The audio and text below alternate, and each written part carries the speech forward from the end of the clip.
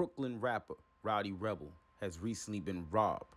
Allegedly, he was robbed in his sleep of $30,000 worth of rings and a $60,000 watch. Hmm. Tell me what you guys think in the comment section. Gotta watch you having your crib, man.